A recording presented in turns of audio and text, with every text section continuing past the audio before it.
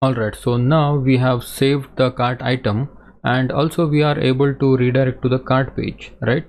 But the problem is uh, we are not taking anything uh, to the cart page. We are just going blank right? Instead we need uh, in the cart page we need uh, the total and we need the product information and we need the quantity and all those stuff right? So that's why we need to uh, uh, modify this cart function so first of all let's take uh, the total set it to 0 and the quantity set it to 0 and the we need a, a product information right? Cart items. Uh, that is none now. Uh, so here let's make a try block and say cart is equal to cart dot objects dot get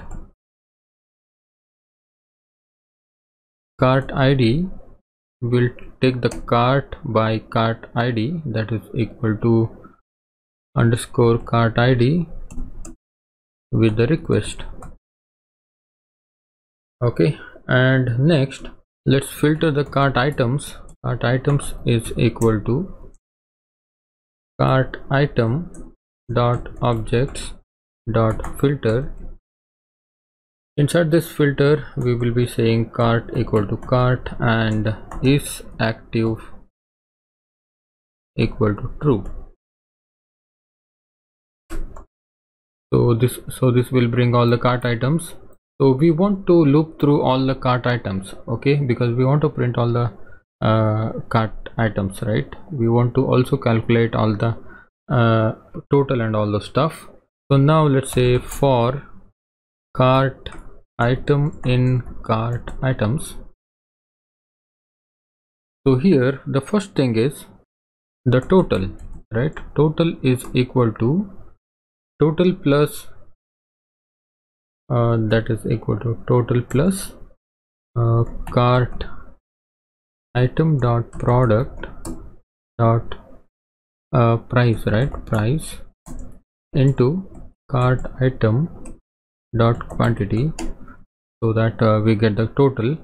And the next one is we need quantity that is equal to uh, quantity plus a cart item dot quantity cart item dot quantity.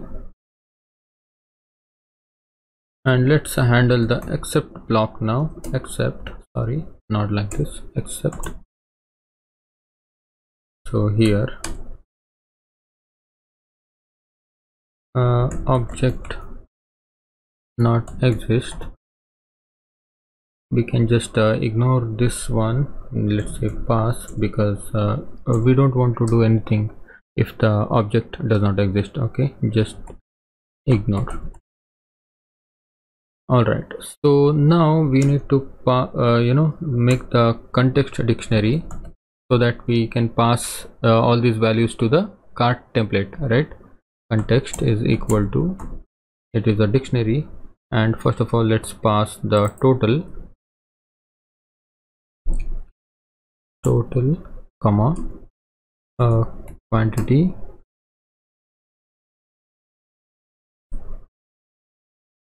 Comma the cart items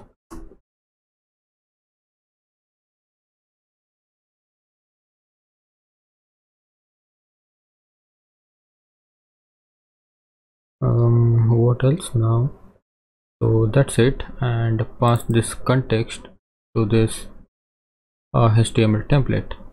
So here we are taking the cart object by cart id okay we got the cart here and uh, so here we got the cart items and we are looping through the cart items uh, so that we can uh, take the uh, total of each uh, cart item and the quantity also. Then we are uh, sending all the context to the html template. Okay so in the next lecture we will actually uh, use all these uh, data inside the uh, cart template. Okay thank you